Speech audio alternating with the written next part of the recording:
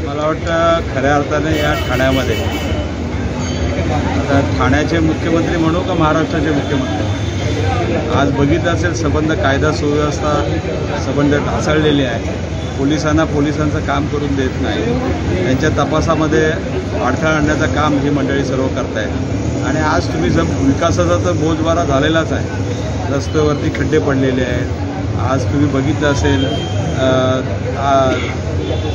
तलाठीची आज परीक्षा होती संबंध महाराष्ट्रामध्ये. तर तिथे सुद्धा आज वेळेवर पेपर होऊ शकला नाही. म्हणजे कुठल्या ह्याच्यामध्ये सुद्धा ते त्यांचं लक्ष नाही.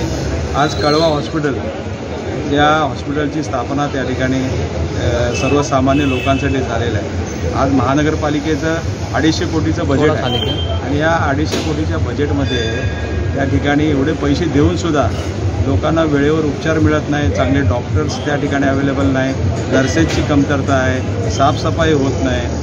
आणि अशा पद्धतीने तुम्ही बघितलं असेल एवढे त्या ठिकाणी मृत्युमुखी पावलेले आहेत. आणि ह्याचं सर्व जबाब सर्वस्वी जबाबदारी मुख्यमंत्र्यांची आहे त्यांनी त्वरित राजीनामा द्यावा आणि घरी बसावा. मला वाटतं सर्वात प्रथम मी सुखदेव सिंग मीरा भाईंदरचे आम आदमी पक्षाचे जिल्हाप्रमुख आहे आणि त्यांनी आज पक्षप्रमुख उद्धव ठाकरे साहेब यांच्या शिवसेनेमध्ये या ठिकाणी प्रवेश केला आहे. मी त्यांचं स्वागत करतो. आणि त्यांच्यातून असंच चांगलं कार्य घडो अशी शिवसेना